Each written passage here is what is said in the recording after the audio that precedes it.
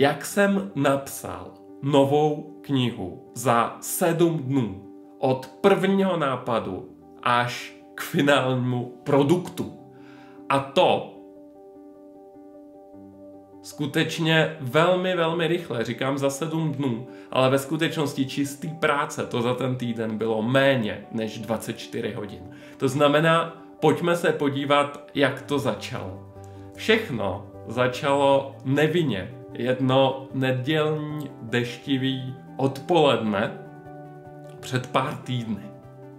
Napadlo mě jednoduše, že v úspěšném expertním biznisu jsou zpravidla jenom tři klíčové produkty, který, když dobře propojíte, tak vznikne opravdu nadprůměrně úspěšný expertní biznis. A byl jsem z té myšlenky nadšený a začal jsem si čmárat na papír schéma. Schéma, který se skládá z knihy, high ticket produktu a klubu. Hledal jsem název, různě jsem si, různě jsem si s ním hrál a přemýšlel jsem, jaký tomu dát název, jak s tím pracovat. Fascinovalo mě to. Přišlo mi, že je to nápad, který přichází doslova jednou za deset let a cítil jsem, že na tohle téma by stoprocentně šlo vytvořit krátkou knihu.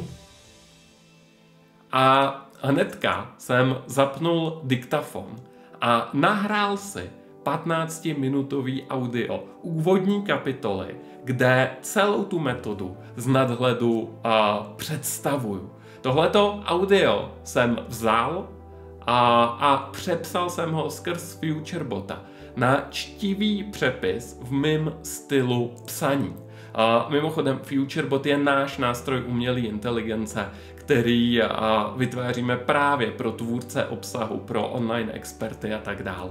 A to jenom pro kontext. Takže nahrál jsem do FutureBota ten audio soubor a dal jsem generovat a přepsal jsem to a tady už vidíte, jak vypadal výstup, jak vypadal úvod. Vidíte, že je to strukturovaný, že jsou tam nadpisy, že jsou tam odrážky, že je to tučný, že to není napsan jako uh, doslovný přepis plný plevelných slůvek a tak dále, ale že už je to celý sformátovaný. To znamená, během pár minut jsem měl napsanou první úvodní kapitolu, kterou jsem poslal pár lidem a říkali mi, ty jo, to je skvělý.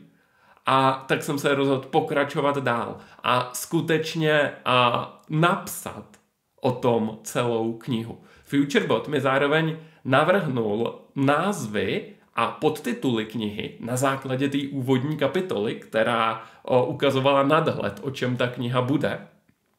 Mně se nejvíc zalíbil trojuhelník zisku, který už jsem si nechal.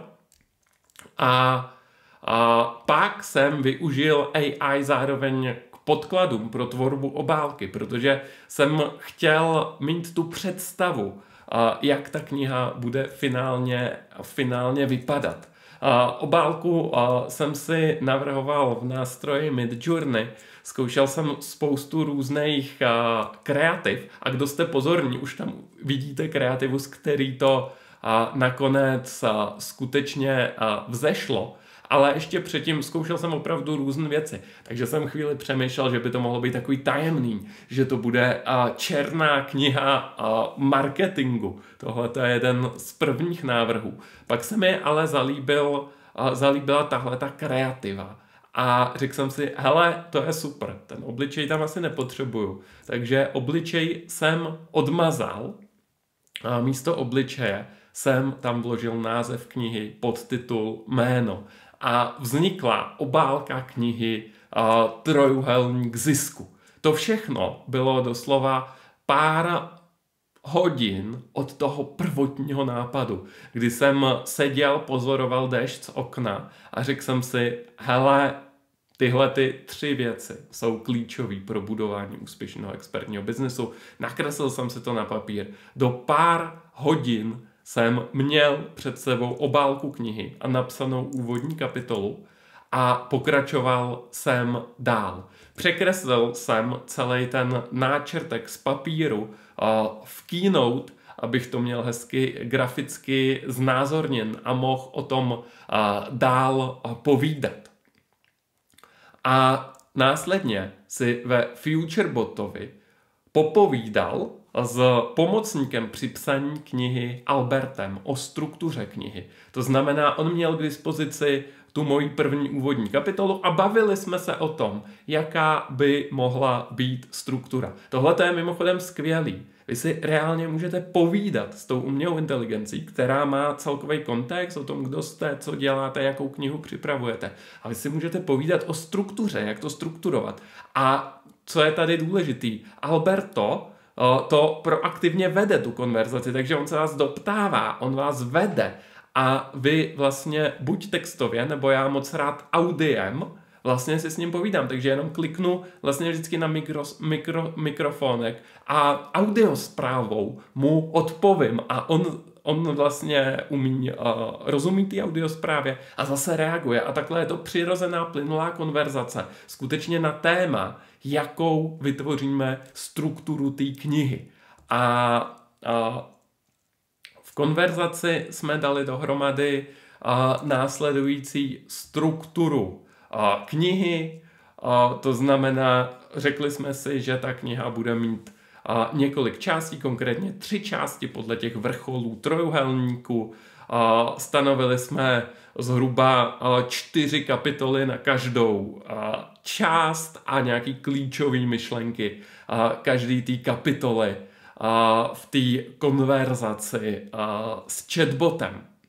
A, a následně jsem měl podklady pro to, abych jednotlivý kapitoly mohl nahrát. To znamená, pustil jsem se do jednotlivých kapitol, bylo třeba to ještě trošku prohloubit. To znamená, zase přišel rozhovor s chatbotem Albertem právě o obsahu konkrétních kapitol. To znamená, vždycky jsem se s ním bavil o konkrétní kapitole. On ze mě vytahoval know-how, vytahoval ze mě příběhy, který tam chci uvíct, prostě povídal si se mnou o tom tématu a co bych do té kapitoly mohl dát.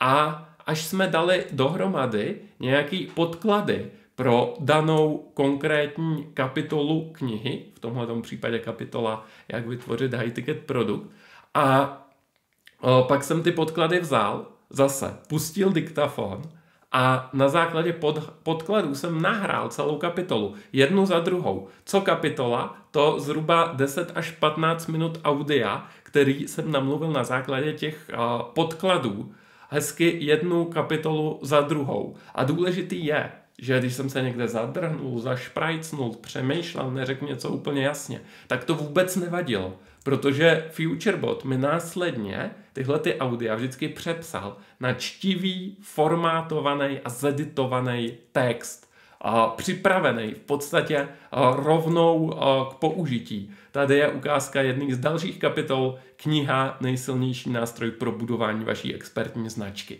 A vidíte, že je to zase velmi strukturovaný, velmi takový jasný, čtivý text, bohatý, jo? Což já mám rád, já takhle takovýmhle způsobem píšu, když píšu nějaký PDF a tak dále. Takže jsem to naučil i FutureBota, aby a, takhle psal tímhletím formátem. A ten formát, jak píše, může být různý, ale tohle to je prostě můj styl, a, jak píšu, který jsem ho naučil, aby tak psal taky. A, Následně, pokud mi něco nevyhovovalo, tak konkrétní pasáže textu v tom výstupu jsem mohl upravovat, měnit nebo doplňovat rychlostí blesku s pomocí AI a zpětné vazby na konkrétní text, který si označím. Stačilo si označit jakýkoliv kousek textu a kliknout na mikrofonek nebo klávesnici a dát mu zpětnou vazbu, buď skrze audio mikrofonkem nebo skrze text, tak jak to vidíte tady a mohl jsem mu napsat vyvrat nejčastější námitky spojený s psaním knihy s pomocí AI a vlastně kliknu a všimněte si doplní nejčastější doplní nejčastější námitky do toho textu daný kapitoly. A přesně tam, kde jsem cítil, že aha, tady bychom něco mohli doplnit a možná mi AI pomůže. A pomohla. Jo? A zároveň Zároveň tady vidíte vlastně pět nejčastějších námitek plus nějaký protiargument. A vlastně zároveň můžeme možná označit něco dalšího a ukázat si, jak to jde dál rozšířit. Možná kliknu na klávesnici a řeknu, hele, přidej, proč chat GPT není ideální napsat knih. Mimo jiné něco takového byste v chat GPT těžko udělali, že jo? A proč je potřeba speciálních nástrojů, pokud chcete vytvořit opravdu dobrou knihu s AI. Kliknu potvrdit a on tam přidá ty argumenty, přidá tam to téma k tomu bodu a takhle to můžu vlastně editovat. Kdybych kliknul tam na mikrofonek, tak zároveň můžu nadiktovat třeba i detailněji, co tam chci a doplnit. A je to velmi efektivní dotvoření té původní kapitoly, kterou jsem namluvil a přepsal do zeditovan, zeditovaného uh, textu. To znamená, takhle jsem napsal a vytvořil všech 12 kapitol. A když byly kapitoly napsaní, napsaný, tak jedním kliknutím jsem je přesouval z FutureBota do aplikace uh, Notion. Já miluji aplikaci Notion pro její jednoduchost v editaci a organizování textu. Stačí ho kliknout na kopírovat a do Notion si to vložím a veškerý formátování mi zůstane úplně úplně stejný a tady to můžu dál textově editovat, takže tady jsem pak prováděl takovou tu jako finální editaci, co jsem chtěl třeba dodělat ještě ručně a navrh toho, jak to připravila AI. Zároveň tam máte takhle seznam vlastně těch kapitol, podkapitol vlastně podle nadpisů. Skvěle se mi to tam editovalo. A stejně tak Eh, stejně tak grafiku. Já jsem si ji vytvořil v Keynote, můžete ji vytvořit i v Canvě, v dalších nástrojích. Tak lze do Notion velmi dobře importovat. To znamená, když se kouknete, tak já jsem si vytvořil tady nějakou grafiku v Keynote a jednoduše mi stačilo ji prostě vzít a hodit do Notionu na příslušné místo. Můžu tam s tím různě pohybovat, můžu to udělat graficky bohatý a nejenom obrázky tam jdou vkládat, jdou tam vkládat i audia, videa a tak dále, pokud byste to chtěli multimediální. Ale takhle jsem si tam hodil, upravím velikost, krásně to, krásně to posunu. Vlastně se to formátuje velmi, velmi snadno. Nejde tam v podstatě udělat chyba, nepotřebujete na to být odborník. Je to doslova drag and drop. Velmi příjemný eh, postup. Jo? Eh, zároveň hodíme tam ještě obálku na úvod. Tak, zase hodím si ji takhle nahoru. Skvělý. Na závěr jsem tu knihu v Notionu přečetl, celou knihu od A do Z jsem si třikrát přečetl a dělal jsem drobný finální editace a úpravy, tak, abych byl s tím stoprocentně spokojený, aby to skutečně bylo autenticky moje kniha se vším všudy, a abych se ujistil, že je všechno vyjádřen tak, jak si představuju, tak jsem to třikrát projel, třikrát jsem si to přečetl. A pak byla kniha finální. A tuto finální knihu, kterou můžete vidět tady, stále ji mám v Notionu, ale už je celá, už je sfinalizovaná, včetně grafiky, pročtená a tak dále, tak jsem vlastně byl spokojený. Vidíte, tady má seznam všech těch kapitol na základě nadpisů, můžete se jim proklikávat.